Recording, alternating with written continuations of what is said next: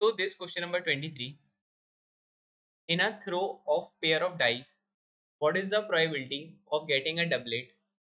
तो डबलेट होते क्या है पहले तो ये देख लो जैसे वन वन एक डबलेट है टू टू एक डबलेट है थ्री थ्री एक डबलेट है फोर और फोर एक डबलेट है फाइव फाइव एक डबलेट है और सिक्स और सिक्स एक डबलेट है ठीक है तो ये टोटल सिक्स डबलेट होते हैं अपने अगर अपन दो डाइस को एक साथ फेंकें तो ठीक है।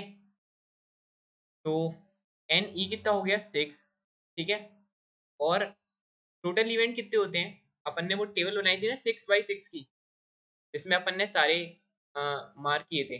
तो कैसे थे वो? वन वन वन टू ऐसे ही सिक्स से सिक्स तक, ठीक है? तो वही थे। तो ये टोटल थे अपने थर्टी सिक्स तो अपनी प्रोबेबिलिटी ऑफ़ इवेंट कितना हो गया?